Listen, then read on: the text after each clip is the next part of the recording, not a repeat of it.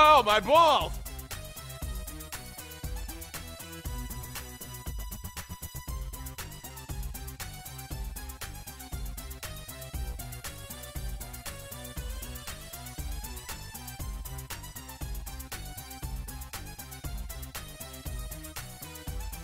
You're one of the nicest people I've met.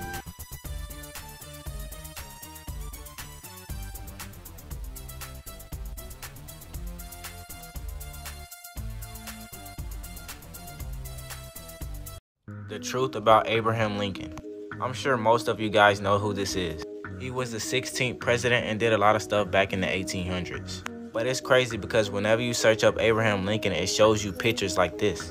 This is how he's drawn and illustrated. But little do y'all know, this is how Abraham Lincoln really looks. Yes, Abraham Lincoln was black. All the times we were taught in school, we were taught Abraham Lincoln was not black. Because they don't want us to know the truth. Well, he he was black. Hey, Dad. Yeah. I got a question. Which question? Did you hear about the guy that dipped his balls in glitter? no, I can't say that. Yeah, pretty nuts, right?